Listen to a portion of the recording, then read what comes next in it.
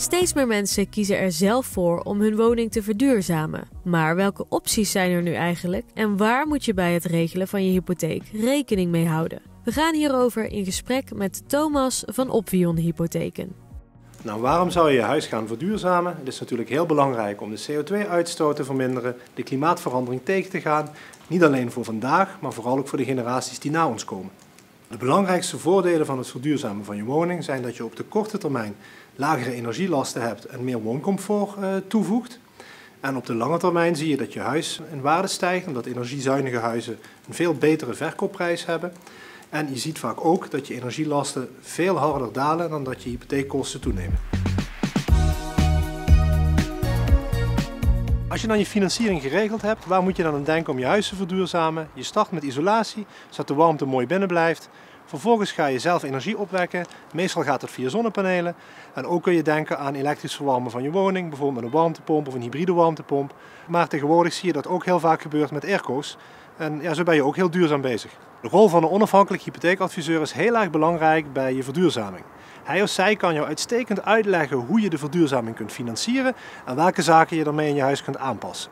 Wij als hypotheekverstrekkers zien dat bijna 75% van alle hypotheken in Nederland via zo'n onafhankelijk adviseur wordt geregeld. Dus daarom is het belangrijk dat in de gesprekken met die adviseur de verduurzaming goed aan bod komt en een centrale plek heeft.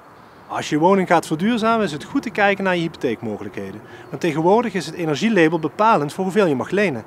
Bij een goed energielabel mag je meer lenen omdat je natuurlijk minder energielasten hebt.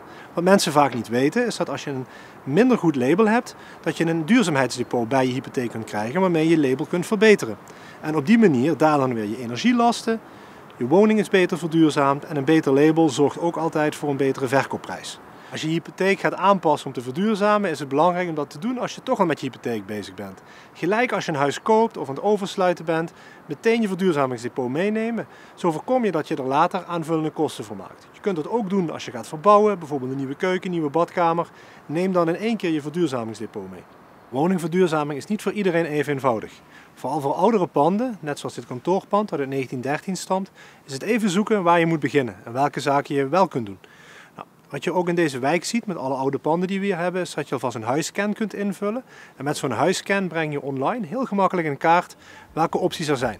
Vervolgens kun je die verduurzamingsopties met je adviseur bespreken en kijken hoe je die zo goed mogelijk kunt financieren. Opvion is tevens een project gestart in een woonwijk om te ervaren hoe mensen tegen de energietransitie aankijken. Wil jij meer informatie over dit project? Kijk dan op de website opvion.nl.